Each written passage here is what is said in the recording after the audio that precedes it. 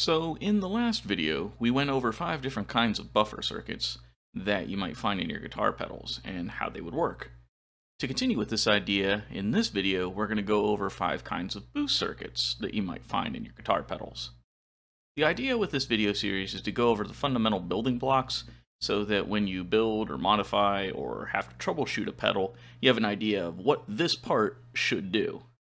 So this isn't meant to be an all-inclusive list, but this is just a list of five common boost circuits that you'll see and how they work. So let's dive in. Number one, bipolar junction transistor boosts.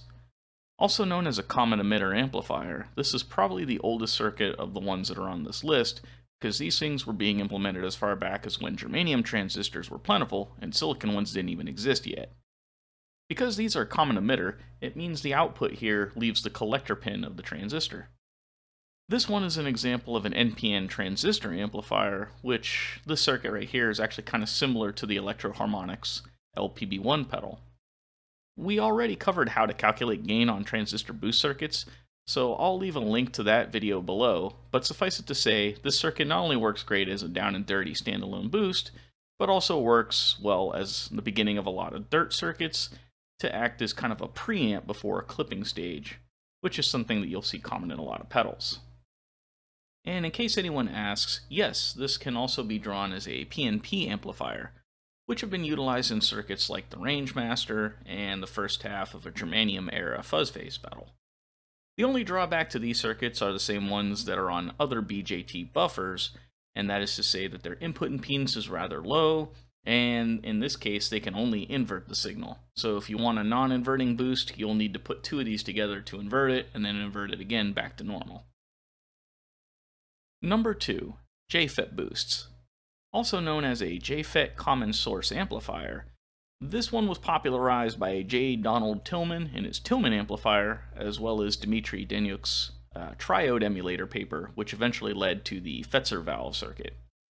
These circuits pack a lot of gain with a very few number of parts, so to keep the gain into the clean boost range, that is to say it boosts a lot, but as you hit harder things like power chords and have hotter pickups, that it still doesn't break up the amplifier. Uh, to keep it into that realm of a clean boost, you want to keep these resistor values rather low. So keeps R2 and R3 down to like 2.2K and 1K, and you'll get a pretty good clean boost.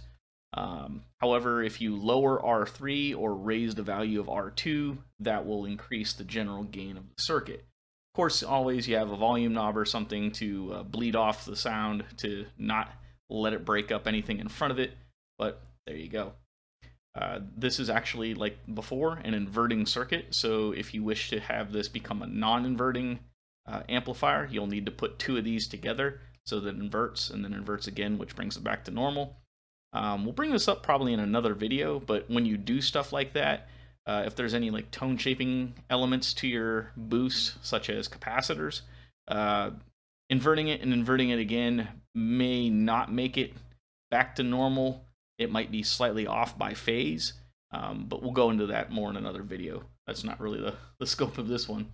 But suffice it to say, that's the idea of when you want to bring things from inverting back to non-inverting, is just keep repeating the circuit. Uh, the the advantages to this is just like any with the regular JFET buffers that we described in the video before. Uh, they have really great input impedance, and the output impedance is pretty good too. Let's do a real quick analysis here. So as you can see, I'm measuring a uh, signal here from 20 milliseconds uh, to 30 milliseconds, and I have just a 100 uh, millivolt sine wave here going at 1 kilohertz. So what we want to look at real close here is, as you can see, here's my input sine. So it goes from 0 to 100 to negative 100 to positive 100 millivolts. Now to get an idea of what the gain on this is going to be, if I click over here at my output, you'll see that I have my signal now goes from 0 to 120 and down to negative 120. So, and you can also see that it's inverting, the uh, green signal being my main signal, and then the output being the blue signal.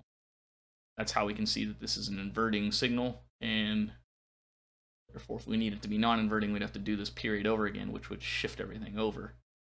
So anyways, the, to get the idea of what the gain is, if we click on this output, and we wanted to get an exact measurement if we uh, we're looking for exact, which we are.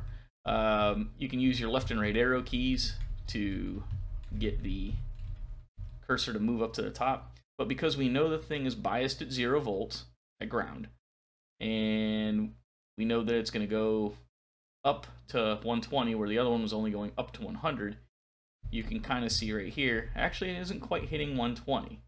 It's uh, getting close, but not quite. There's a little bit of a smidge there. So you can say, okay, well, I went from 100 millivolts to 120, and so the gain is 1.2 because you went from 1 to 1.2 volts per step. So that's not a lot in gain voltage, but what you can do with that information is if you look up uh, is it uh, gain to dB calculator in Google, and it's yeah the second one that comes up here from this website. Uh, if you go to reference voltage, one volt, and then like I said, we go from one volt to 1.2 and hit calculate. That'll tell you what you got for gain right here. So if we've only gained 1.2 volts from one, we have a gain of roughly one and a half, a little bit more dB in volume. So there you go for that. All right, well, that's all there is to say about JFET boosts. Let's move on to the next circuit. Number three, MOSFET boosts. Also known as a MOSFET common source amplifier.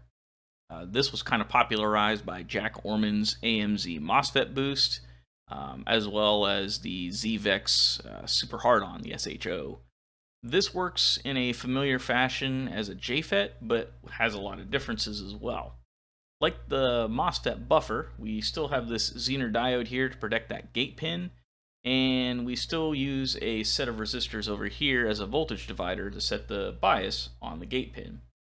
One thing you also might note too, this isn't exactly a 50-50 split, uh, so it's not 100K and 100K, and you'll see when you try to do a analysis on the simulator here why that is. If you didn't do that due to the properties of what's going on down here, the bias doesn't sit perfectly at zero volts, so we have to adjust by setting the bias resistors here to force it to sit at that zero volts bias. So, uh, how do we change the gain on this one? Uh, there's a lot of complexity here, but really the thing you got to worry about is changing the value of R7. As you increase the value of R7, the less gain the circuit pushes out, if you decrease the value of R7, the more gain it's going to push out. Like before, this is also an inverting circuit, just like that JFET boost, and it has similar advantages, uh, advantages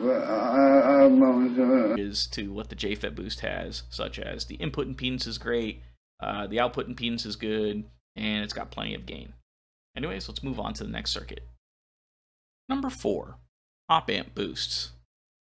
These are found in a lot of circuits as they're small, and if you have a dual or quad op amp chip, using one of them as a buffer or a boost to go into a circuit is pretty common. Here we have an inverting op amp boost. We've done a video on how to change the gain on these things and how they're set and such, so I'll leave that as a link in the description below to go into that detail. Now, op-amp boosts can also be configured as non-inverting, like what we found in circuits such as the MXR microamp.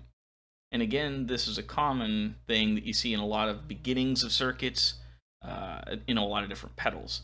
We have a video on how the gain on non-inverting op-amp circuits works as well, so I'll leave a link to that in the video description below. At this time, it's probably the most common form of a boost used, these op-amp ones, uh, because when I say this is used as a building block, I say this is used everywhere. The only one that may be used a little bit more just because of its past is the BJT amplifier. But with these, I can see why they're used a lot. They're easy to come by, they're easy to control, they're very simple to set the gain on these things, uh, and they have fantastic input and output impedance. So let's uh, take a look at one more type of a boost circuit, and we're going to do something a little bit different. What? Number five, CMOS boosts. Now this is one that you may not recognize by looking at it right here. LT Spice doesn't exactly have a great CMOS logic chip library built in, Uh, but you can simulate an inverter like a CD4049 uh, or a CD4069. Uh, you can emulate these with a set of two N-channel MOSFETs, a P-channel MOSFET, and a resistor. Uh, this pedal is more of a distortion fuzz maker than a clean boost, but I wanted to put this in here because you see this in a lot of building block circuits. This was popularized by Craig Anderton's Tube Sound Fuzz. Uh, later, you see this in pedals like the Way Huge Red Llama and all of its derivatives. And if you're a bass player and you looked into some of your bass overdrives, Dark Glass uses this in a lot of their pedals, as well as uh, in some guitar pedals like the Mad Professor Stone Gray Distortion. Now, I say this is a fuzz maker more than a boost because this circuit packs a ton of gain in a very small package. This right here is just one inverter. So even when R2 right here is set to a very low resistance, like 2.7K, it's already beginning to distort the signal and is partially out of phase. Let's actually take a look at that real quick. So if I go to run, here's my input signal, and here's my output signal. Now let's lower this guy down to, like I said, 2.7K. And I go to run it. You can see that I'm amplifying and I got a little bit of a slant here on the bottom swing. It's kind of pushing over to the right some, where the top here is pretty symmetrical. So even with a very tiny gain right there, it's already starting to distort a bit. And you can clearly see that we have a bit of a phase issue here. Uh, this isn't perfectly inverted. Uh, perfectly inverted, this hump right here should be more over here, and it's not. Um, and that's kind of my point is uh, this pedal is more of a fuzz maker because once you get this guy up to, I don't know, maybe 47K, it's going to start being perfectly inverted as opposed to being just slightly out of phase. But at this point too, we've also amplified so hard that we've now started to clip the rails and we've started to get square waves, which makes fuzz and distortion. Um, but yeah, now you can actually see that the hump is more straddled in the center uh, as it should be. And in that, therefore, in this case, this is an inverted uh, amplifier, which would make sense because this is a CMOS inverter chip, just to give you an idea. But anyways, I just wanted to show this one because I know this is kind of a left field idea, but a lot of people have been using it in a lot of pedals for a long time, but no one comes to it when they say, hey, name some popular boost circuits. So there we go. So with that, that's going to complete my list of five different kind of boosts that you can use as a, as a standalone pedal or as a building block for other pedals that you're designing or troubleshooting or modifying. All of them have their pluses and minuses. They can be used as clean boosts or they can be used for creating enough gain to create some overdrive, distortion, or fuzz, depending on the needs of the pedal. Let us know in the comments below as to which was your favorite or if we've missed any, because I'm sure that we have. uh, so that's it for this video. If you like these kind of circuit building block videos, press that like button. And if you haven't subscribed, please subscribe. Lastly, if you want to help support the channel, please visit our website, which is www.diyguitarpedals.com.au, and check out our kits, our parts, and our PCBs. So until next time, we'll see you in the next video. Cheers.